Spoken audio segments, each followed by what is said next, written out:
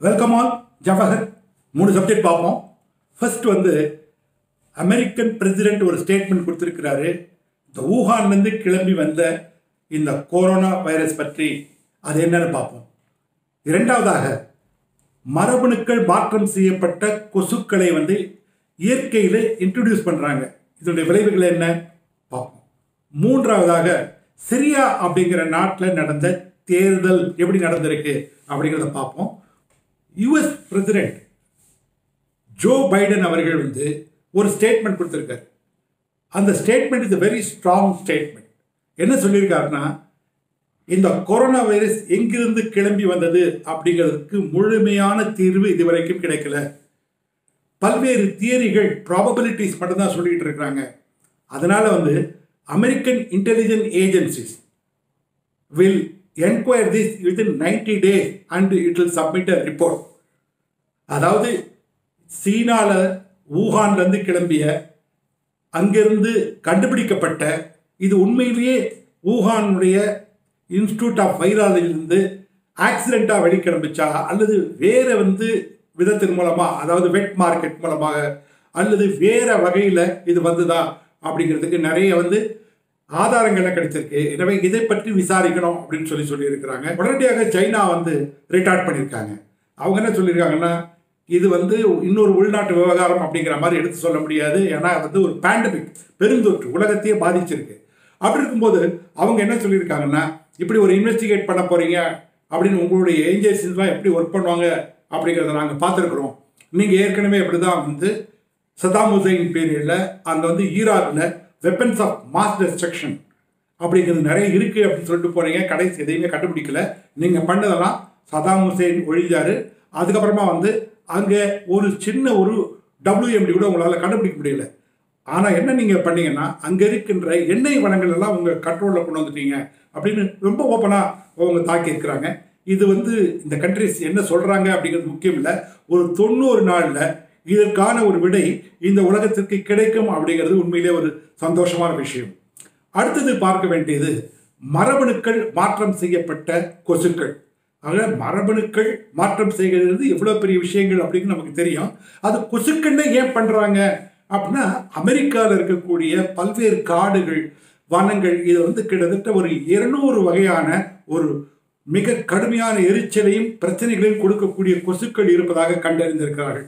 நமக்கெல்லாம் தெரியும் அமெரிக்கான சிட்டிகளை கொசுவெல்லாம் எதுவுமே பார்க்க முடியாது அப்படின்னுவோம் ஆனால் வனப்பகுதிகளில் அல்லது வந்து இந்த சின்ன குன்றுகள் இருக்கக்கூடிய பகுதிகளில் காட்டு பகுதிகளில் இது உண்டு. இந்த ஈஜிப்டிஸ் என்று சொல்லப்படுகின்ற இந்த கொசுக்கள் நமக்கெல்லாம் ஏற்கனவே தெரிஞ்சது தான் இதுதான் இந்த ஜிகா வைரஸ் அப்புறம் வந்து மூளை காய்ச்சல் இது போன்ற பல்வேறு நோய்களை பரப்புகின்ற ஒரு தன்மை கொண்ட இவை. அதனால் இது வந்து மிக அதிகமாக இருக்கக்கூடிய பல இடங்கள் அமெரிக்காவில் உண்டு. அமெரிக்காவில் வந்து என்ன பண்ணியிருக்காங்கன்னா சிடிசி அப்படின்னு சொல்லப்படுகின்ற சென்டர் ஃபார் டிசீஸ் கண்ட்ரோல் ஏற்கனவே இதை பற்றி ஆராய்ச்சி பண்ணுறவங்களாம் எடுத்து வச்சு அவங்க கிளியரன்ஸ் கொடுத்துருக்குறாங்க. அது மட்டும் இல்லாமல் அங்கே தெரியுது இபிஏ அப்படின்னு ஒரு என்விரான்மெண்டல் ப்ரொடெக்ஷன் ஏஜென்சி ஒன்று இருக்குது அவங்க ரொம்ப ஸ்ட்ராங்கான ஒரு ஏஜென்சி அவங்களும் இதை டெஸ்ட் பண்ணி பார்த்துட்டு ஓகே இதுல ஒன்றும் பிரச்சனை இல்லை. யூ கேன் கோ ஹெட் அப்படின்னு கிளியரன்ஸ் கொடுத்துருக்காங்க.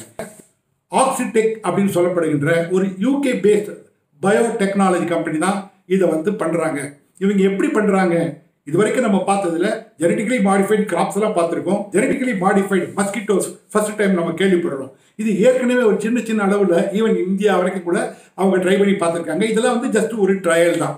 ஆனால் இப்போ இதுக்கு வந்து கிளியரன்ஸ் கொடுக்கப்பட்டிருக்கு.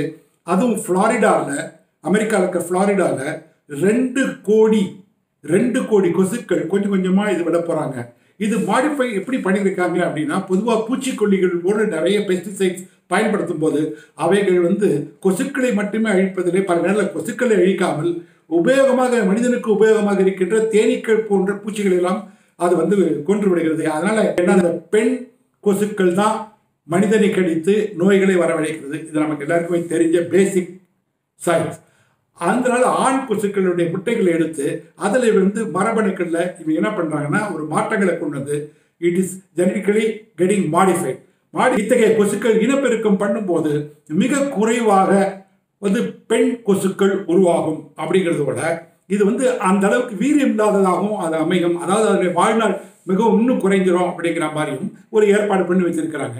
ஃப்ளாரிடாவில் அவங்க விடும்போது இந்த மாற்றத்தோட இதில் இன்னொரு மாற்றம் என்ன பண்ணியிருக்காங்கன்னா இது வந்து எந்த திசை வரைக்கும் போகுது எத்தனை நாளைக்கு இது உயிரோட இருக்கு அப்படிங்கிறத கண்டுபிடிக்கிறதுக்காக அதனுடைய ஒரு கிளிட்ரிங் ஒரு எப்படி வந்து ஒரு மின்மினி பூச்சி பறக்கும்போது எப்படி நம்ம பார்க்க முடியுமோ அதே போல ஒரு ஏற்பாடு இதில் பண்ணி வச்சிருக்காங்க. ஆக இந்த ரெண்டு கோடி கொசுக்கள் வந்து ஃப்ளாரிடாவில் பறக்கும்போது அது எவ்வளோ தூரம் பறக்குது? எத்தனை வந்து ஏற்பாடு பண்ணியிருக்குது அப்படின்னு பார்க்குறாங்க. ஏன்னா ஃப்ளாரிடா வந்து அமெரிக்காவில் இது போன்ற கொசுக்களில் கிட்டத்தட்ட நான்கு சதவீதம் அங்கே இருக்குது அப்படின்னு ஆராய்ச்சிகள் தெரிய வருது. ஆக இந்த கொசுக்கள் இயற்கையில் போகும்போது என்ன மாறுதல்களை உண்டாக்கும் அப்படின்னு யாருக்குமே தெரியாது. ஒரு பக்கத்தில் என்ன சொல்கிறாங்கன்னா இது போன்ற விஷயங்கள்லாம் நீங்கள் இயற்கையோட விளையாடுறது சரியில்லை. அதனால் இதெல்லாம் பண்ணாதீங்க அப்படிங்கிறாங்க. இன்னொரு பக்கம் வந்து விஞ்ஞானம் அறிவியல் வளரும் போது அதை இது பண்ணி முயற்சியாக நம்ம எடுத்துகிட்டு பண்ணித்தான் ஆகணும் அப்படிங்கிறாங்க. Syria is suing its new president அப்படின்னா ரொம்ப ஆர்வத்தோட போய் என்ன அப்படின்னு பார்க்கும்போது பஷார் அப்படின்னு சொல்லக்கூடிய ஒரு ஏற்கனவே மூன்று முறை பிரசிடெண்டாக இருந்த அவர் தான் இப்போ கண்டெஸ்ட் பண்ணியிருக்கிறாரு ஜெயிச்சிருக்கிறாரு அப்படின்னு. அப்படி என்ன நடந்திருக்கு அப்படின்னு பார்க்கும்போது இந்த ஃபேமிலி தான் இந்த ஒரு ஃபேமிலி தான் ஆயிரத்தி தொள்ளாயிரத்தி எழுபத்தொன்னுலேருந்து சிரியாவை அவங்களுடைய கண்ட்ரோலில் அவங்கள ஆண்டு ஆண்டுகிட்டு இருக்கிறாங்க.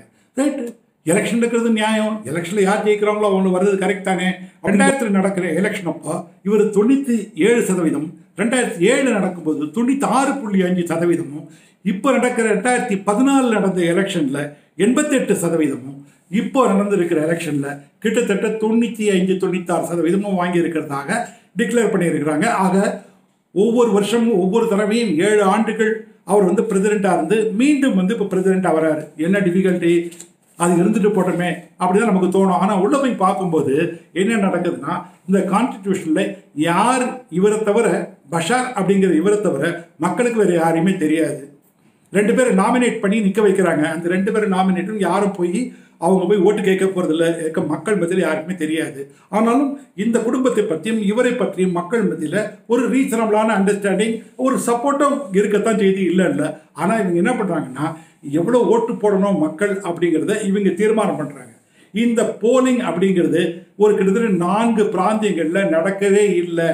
அங்கே போலிங்கே நடக்கல. It is completely rigged so இது ஆல்ரெடி ப்ரீ ரிட்டன் ஒரு பேருக்காக ஒரு வெஸ்டர்ன் கண்ட்ரிஸ் வந்து நாம் இங்கே வந்து ஒரு சுதந்திரமாக ஒரு எலெக்ஷன் நடக்கிறது ஒரு டெமோக்ரஸி இருக்குது அப்படின்னு காட்டுறதுக்காக செய்யப்பட்டதாக தெரியுது. சில பேர் இது எதிர்த்து பேசுகிறவங்கலாம் ஏங்க இங்கே வந்து சாதாரணமாக அவங்க பண்ணிகிட்டு இருக்கிறாங்க பார்த்தீங்கன்னா ஆறு புள்ளி ஆறு மில்லியன் அதாவது அறுபத்தாறு லட்சம் மக்கள் இங்கே பல்வேறு விதமான இன்னல்களுக்கு ஆளாகி பல நாடுகளில் வந்து அவங்க அகதிகளால் போயிட்டாங்க. அப்படி இருக்கும்போது இவங்க வந்து இந்த எலெக்ஷன் நடத்திட்டு இருக்காங்க அப்படின்னு. ரைட் இது சர்வதேச நாடுகள் என்ன பண்ணுறாங்க சும்மாவாக இருப்பாங்க? அப்படிங்கும்போது எஸ் நிறைய மேலை நாடுகள்லாம் அடுத்தடுத்த நிமிஷம் ஸ்டேட்மெண்ட் கொடுத்துருவாங்க. ஃப்ரான்ஸ்லேருந்து ஆரம்பித்து எல்லாருமே வந்து இது சரியானதே இல்லை இப்படிலாம் நீங்கள் பண்ணக்கூடாது அப்படின்னும் போது ரொம்ப நீட்டாக அவங்க கொடுத்த பதில் என்னென்னா we are not worried about what others think மற்ற நாடுகள் என்ன நினைக்கிறது அப்படிங்கிறத பற்றி எங்களுக்கு கவலை இல்லை. எங்களை பொறுத்த வரைக்கும் சிரியா நாட்டு மக்கள் என்ன சொல்லியிருக்காங்க? இவர் தான் செலக்ட் பண்ணிருக்காங்க. அதனால் இந்த எலெக்ஷன் வந்து சரியானது தான் அப்படின்னு சொல்லிட்டு